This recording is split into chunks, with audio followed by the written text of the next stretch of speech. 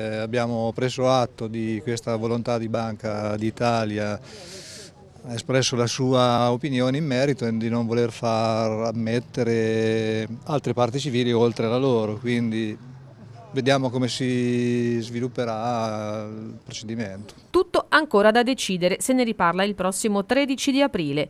In questa data il GUP Anna Maria Loprete deciderà se rinviare a giudizio Giuseppe Fornasari, David Canestri e Luca Bronchi, rispettivamente ex presidente, dirigente e DG della vecchia Banca Etruria. È approdato così al Tribunale di Arezzo il crack Banca Etruria. L'accusa per i tre di ostacolo alla vigilanza contestata dal PM Roberto Rossi. Decine i risparmiatori che hanno presentato domanda di costituzione di parte civile attraverso legali e in un solo caso attraverso Federconsumatori, mentre Codacons, Unione Unione dei Consumatori e Conf Consumatori hanno presentato a loro volta anche richiesta di costituzione di parte civile come associazioni. Noi non è detto che non ci costituiamo, l'abbiamo fatto stamani attraverso un nostro associato, perché l'interesse nostro è quello di acquisire tutti gli atti processuali.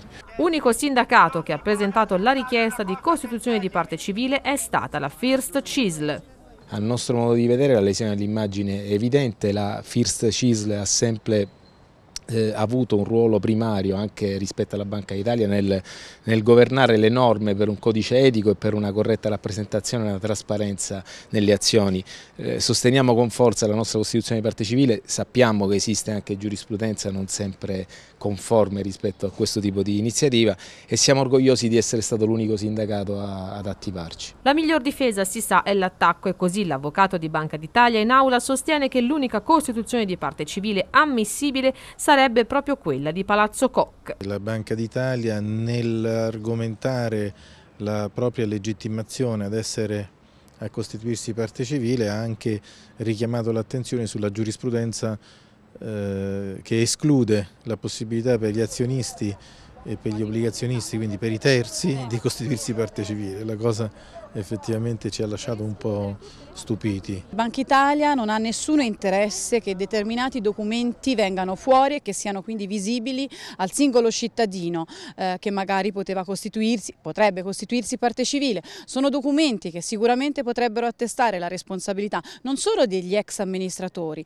ma anche e soprattutto quello che preme a loro degli organi di vigilanza. Un mese di tempo, giorno più giorno meno per gli avvocati difensori di Fornasari, Canestri e Bronchi rispettivamente Antonio Davirro, Luca Fanfani e Antonio Bonacci per leggersi tutte le carte e fare le controdeduzioni, poi il 13 di aprile la decisione finale. Dobbiamo valutare, dobbiamo leggere perché insomma, sono stati scritti degli atti piuttosto corposi. Sono le, le vari soggetti che hanno chiesto di costituirsi, vediamo, leggiamo, valuteremo, dedurremo.